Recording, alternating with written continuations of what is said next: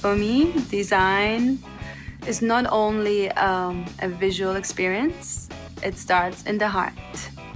Design is a lifestyle. It's my life, first of all. It's, it's my love. You go into unknown territory when you discover yourself through working with your hands and your mind and your heart.